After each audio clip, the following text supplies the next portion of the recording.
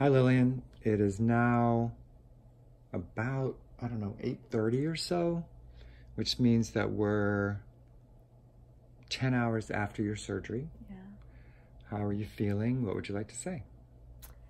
So it was a rough couple hours, right, honey? After the surgery, because I, I, I got nauseous and threw up. I didn't take the nausea medication, and the reason why I didn't is because my body needed to get rid of all that. I wasn't going to suppress it and make it last longer.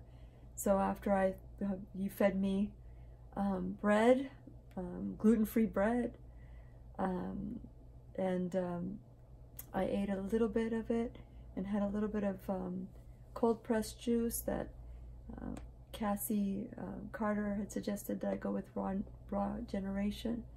It was just too much and lost. After throwing up, I felt so much better. After that, I've been resting. You've been a really good nurse. And I've been walking the room with your assistance. Uh, I've been tired a little bit, but um, a little bit of pain and manageable, but I'm I'm well. I am well. I'm well. Thank you for asking, honey. You're welcome.